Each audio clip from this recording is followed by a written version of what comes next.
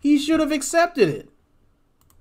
And the problem that I have with this is simply when you push this agenda and you try to push it to children who are struggling, they don't see any way out. They see this is what I am, this is what I'm born to do, there's no change. But there's websites, there are groups, there are Reddit groups, there's all types of people who have come out of any type of lifestyle you can name and turned to God. But what would this show have you believe? That you cannot pray away the gay. It's just something that she is, right? And the crazy part about that, oh, here go my soundboard. The crazy part about that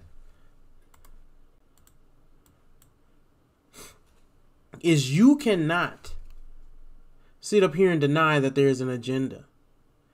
There never, ever will be on TV again, mark my words, anybody who has the opposite or opposing view that sticks with that view and that is painted as the good guy.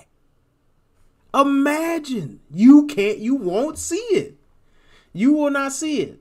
It's always going to be the good guys are the ones who want to tear down the traditional values and godly values, and the bad guys are the ones who want to tell you to stop doing what you want to do. It used to be that self control was a thing.